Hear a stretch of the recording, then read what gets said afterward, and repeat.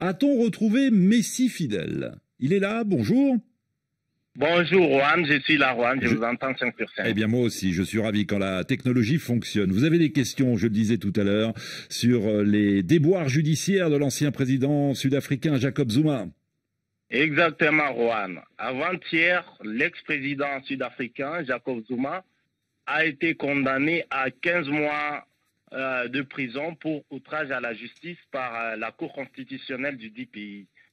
Alors Juan, j'aimerais savoir pourquoi l'ex-président ne peut pas faire appel à cette décision c'est vrai, il ne peut pas faire appel de cette décision de la Cour constitutionnelle. Kofi Kwaku va tout nous expliquer. Bonjour. Bonjour Juan, bonjour à vos auditeurs. Vous êtes chercheur et spécialiste des questions africaines au Centre des études Afrique et Chine à l'Université pardon, de Johannesburg. 15 ans de prison pour outrage à la justice, euh, je rappelle... 15 mois. 15, mois, 15 mois. Autant pour moi, j'ai aggravé déjà que les avocats de Jacob Zuma sont vent debout parce qu'ils trouvent la sentence exagérée et moi je, la gonfle encore davantage. Euh, en cause, le refus de l'ancien président de comparaître devant la commission anticorruption qu'il avait pourtant lui-même euh, mis en place lorsqu'il était chef d'État. Comment expliquer qu'il ne puisse pas faire appel? On le condamne, mais il ne peut plus se défendre. Bon, et ça allait être très simple juridiquement. D'abord, vous avez rappelé très bien euh, et précisé le contexte et la raison pour laquelle il se trouve dans cette situation. Et il continue, et il a continué de défier et de narguer la Cour suprême, la Cour euh, constitutionnelle et les ordonnances de cette, euh, de cette Cour-là. Ce qui est très important, c'est que la Cour constitutionnelle n'avait pas vraiment d'autre choix que d'emprisonner l'ancien président Jacob Zuma pour son mépris de l'État et surtout de l'État de droit en Afrique du Sud et surtout aussi de la Cour constitutionnelle qui continue de narguer, de dénigrer, d'insulter et même de trouver des moyens même pour accuser la Cour d'être, de ne pas être assez juste. Mais ce qui est clair, et la, la réponse à la question de votre auditeur, c'est que la Cour constitutionnelle a statué et c'est tout.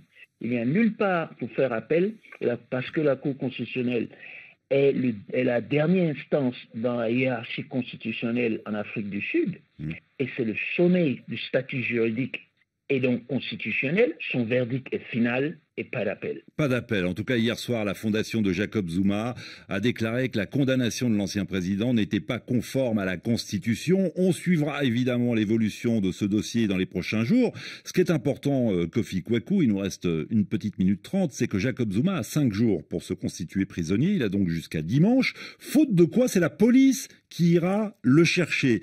La question que tout le monde se pose aujourd'hui, à cette heure-ci, Jacob Zuma ira-t-il en prison dimanche?